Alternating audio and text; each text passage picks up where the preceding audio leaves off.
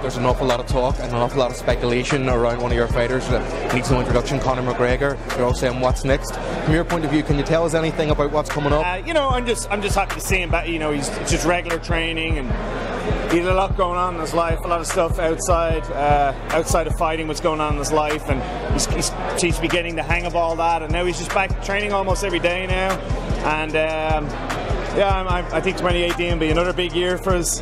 Exactly what that is, I don't know yet. The plan is the plan is forming, um, but uh, as you say, stay tuned.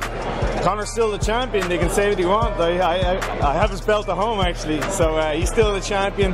He's making the decision on uh, what makes sense for the next move, but it's kind of early days yet. You know, we're we're just watching how that has developed while he's been away. He's, he's had other things on. Um, but uh, yeah, let's see. Let's see what happens in 2018. I'm excited about it anyway. If you want to know my my opinion, I'll be pushing very hard for MMA. Uh, the boxing was a nice detour from what we've done, but mixed martial arts is my passion. So uh, if, I have anything to do with it, he'll.